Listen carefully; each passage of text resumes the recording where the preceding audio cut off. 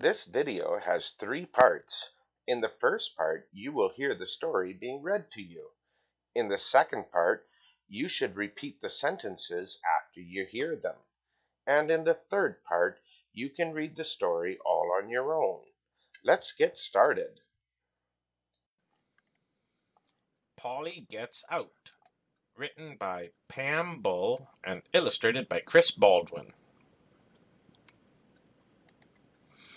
Polly got out of her cage. She flew out the door. Polly flew over the trees. She saw some houses. Polly flew over the houses. She saw a path.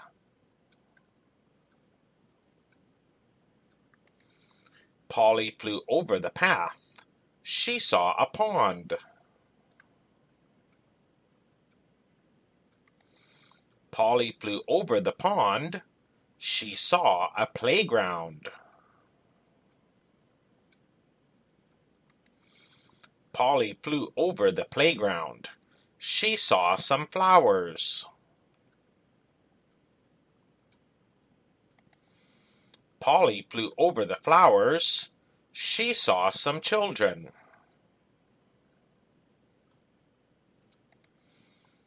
Polly flew over the children. She saw a cat.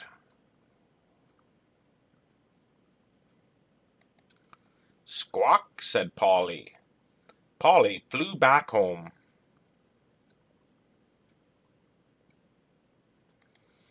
Polly flew into her cage. Phew! Polly was safe. Now listen to the story and repeat each sentence after you hear it. Polly got out of her cage. She flew out the door. Polly flew over the trees. She saw some houses. Polly flew over the houses.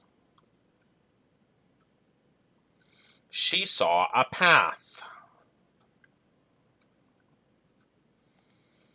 Polly flew over the path. She saw a pond.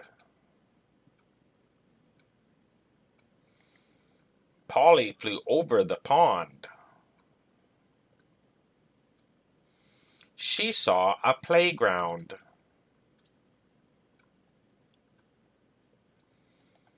Polly flew over the playground. She saw some flowers.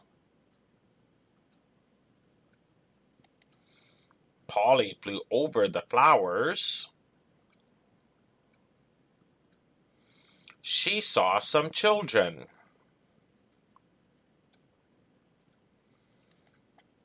Polly flew over the children. She saw a cat. Squawk, said Polly. Polly flew back home. Polly flew into her cage. Phew! Polly was safe. Now it's your turn. Read each sentence on each page out loud.